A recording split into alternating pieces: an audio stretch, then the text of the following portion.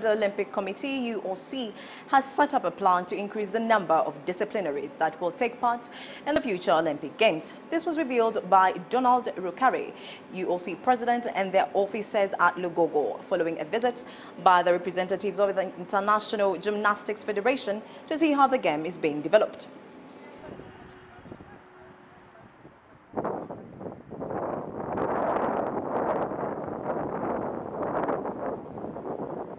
This happened following a meeting with delegates from Gymnastics Association Uganda, former UOC President William Blick, Andrew Curry, among others. Chairperson of Gymnastics Association Uganda, Harriet Aya, believes it is a good step taken by the international body to send an instructor to see how best the game can be developed in the country. His coming here is because, as Uganda, we have, of course, at the moment, our struggles to do with funding of sports.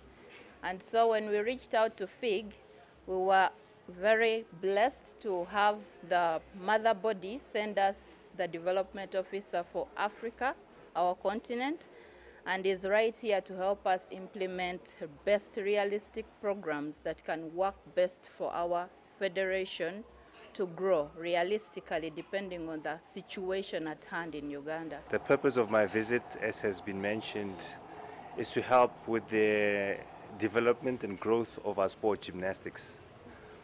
And we are making efforts because we have this belief of gymnastics being the mother of all sports. After the meeting, the delegates from both parties proceeded to the national hockey pitch, where some gymnastics athletes did exhibit some talent. Derek Buzimungu, coach of Kataka Gymnastic Club located in Katwe, expressed his gratitude to the association for taking the initiative to see that the game is developed in other parts of the country. With this collaboration that we are going to have with South Africa, I am seeing we're already going to start moving, especially when we're empowered with the technical part of it, the administrative and provision and supply and giving of equipment. I am seeing this spot. Our intention will be to go deeper to the community, to tap this talent, and even go higher the international levels. Report compiled by Charles Wanga for the news.